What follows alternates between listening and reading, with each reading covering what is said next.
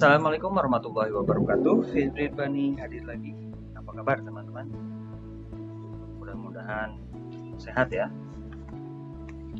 Hari ini kita akan lihat hasil belanja uh, untuk kesehatan kelinci ya. Jadi hasil penjualan dari anakan kelinci saya spare sebagian untuk membeli obat-obatan ya.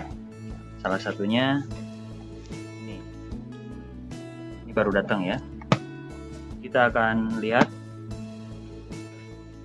Tapi sebelumnya jangan lupa teman-teman untuk like dan subscribe dulu ya. Biar teman-teman tidak ketinggalan untuk mendapatkan informasi terbaru lainnya dari video tadi.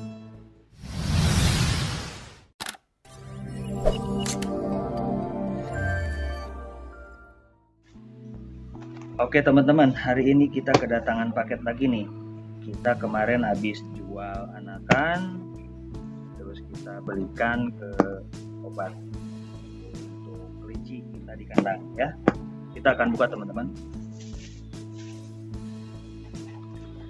Ini adalah salah satu jenis obat yang diperlukan di kandang ya.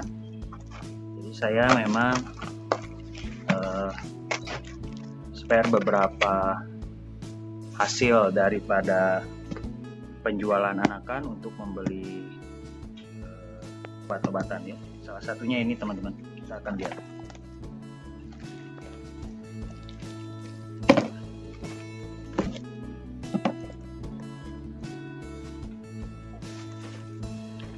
Oke teman-teman, ini dia obatnya.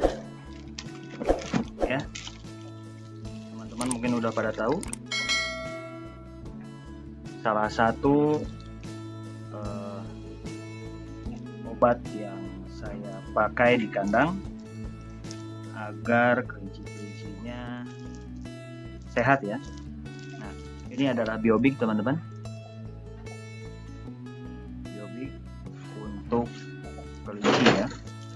Biobik adalah sebagai obat herbal jamu. Nah, teman-teman bisa beli uh, biobik ini di toko-toko peternakan ya.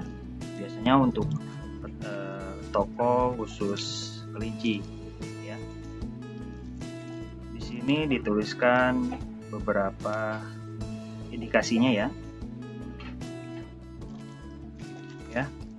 indikasinya menyembuhkan kembung mencret memperkuat daya tahan tubuh menambah nafsu makan mengurangi tingkat kematian mengurangi stres pada kelinci dan memperbaiki kesuburan.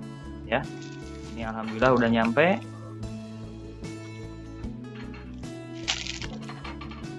Ya kita akan pakai sebagai tambahan pakan untuk nanti kelinci kita di kandang ya. Teman-teman bisa memakai ini untuk menjaga kesehatan kelinci teman-teman di kandang ya. Bisa jadi rekomendasi nih ya. Oke. Mudah-mudahan salah satu obat ataupun jamu ini bisa membantu teman-teman agar kelincinya tetap sehat ya. Pergunakan sesuai takaran yang telah dituliskan. Ya. Oke teman-teman.